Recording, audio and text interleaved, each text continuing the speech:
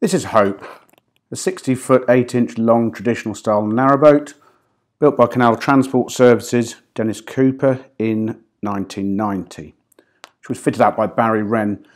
When the current owner was building his first boat, his father said to him, You're going to need faith, hope, and charity if you ever get that finished. Well, his first boat was called Faith, his second was Hope, and there's no prize for guessing if he ever has a third what that will be called. She's in fabulous condition. The cabin was shot blasted and repainted in 2004 and she had a recent full repaint in 2014. She was epoxy two-packed, shot blasted, including the base plate in 2013 and she's just been serviced in May. The gas lock is huge, three 13 kilo bottles in there, plus ample room for storage of other bits and pieces. Cratch covers in lovely condition. Well deck's a good size at five foot four. The lockers under the bench seats here are all lockable. Very good storage space. This table is hinged, lifts up against the glazed cratch board. There are the conkers, the anti-spider conkers. And the front doors are stable door type glazed. And on into the boat we go. She's beautiful. She's fitted out an oak face ply, sapele trim. Carpeted here in the saloon. Beautiful woodwork.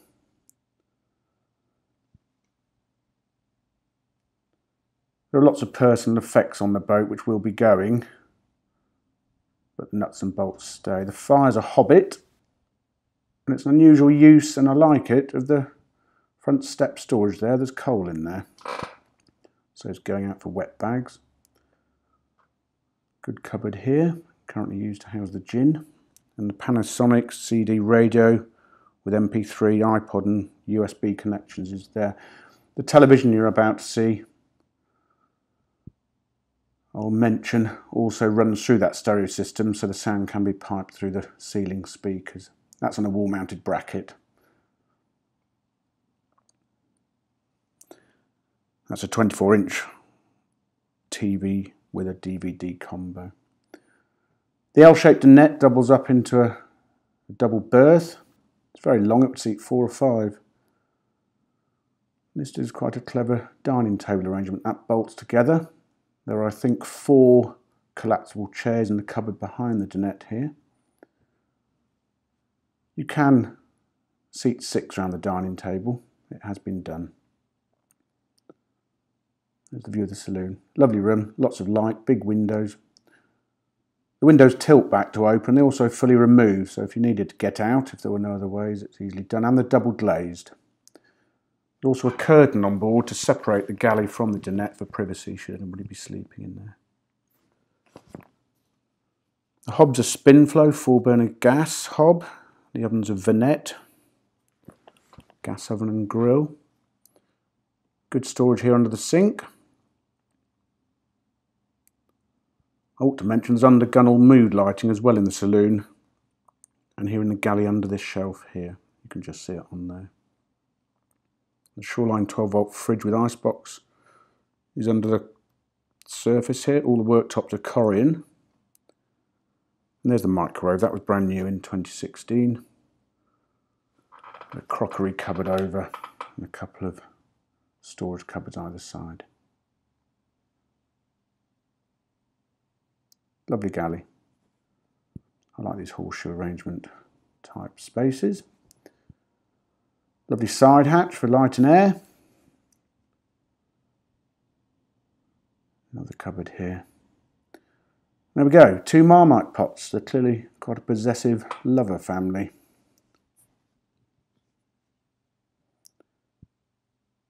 Lovely room. The saloon's long, it's 13 feet 11 inches long. The galley is 7 feet, so there's lots of space in these two rooms.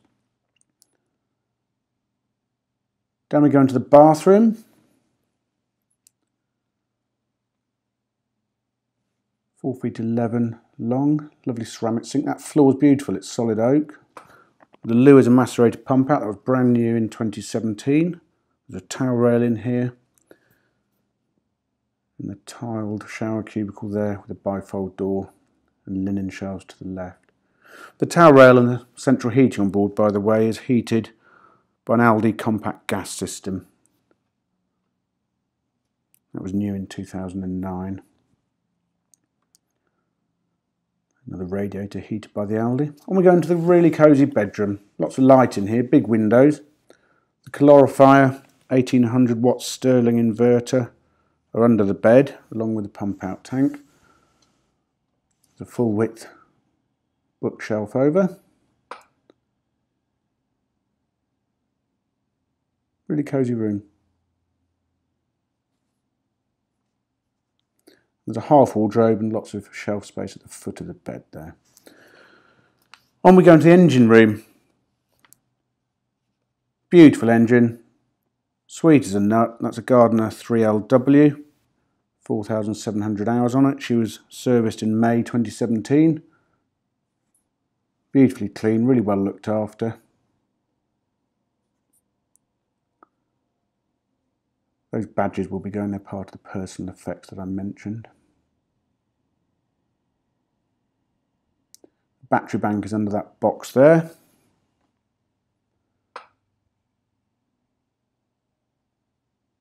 Two side hatches in here, steps on either side.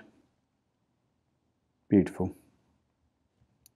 She sounds lovely when she runs. And on we go into the stunning boatman's cabin. The double crossbed is used in here. Lovely roses and castles, and the Epping stoves in very good condition.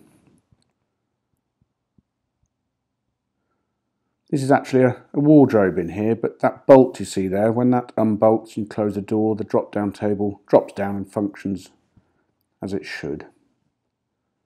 The best of both worlds. Just show the drop down crossbed. Not that easy with one hand and a camera in the other, but there we are. And the door into the engine room here is very clever. When this bed is down, you can't open the door, it opens inwards. There's a panel inside the door which is hinged and it opens when the bed is down, so you can get through to the rest of the boat if the bed's made up. Cupboards under, storage under the bench seat here on the left. A few shelves and little cupboard here for bits and pieces and Brasso. My second product placement of the video, Marmite and Brasso. And there's the intercom system that goes through to the saloon to order another stiff drink, cup of tea, check what time supper's ready, whatever, or just a chat. Beautiful room, really lovely. There's the view from the helmsman's position.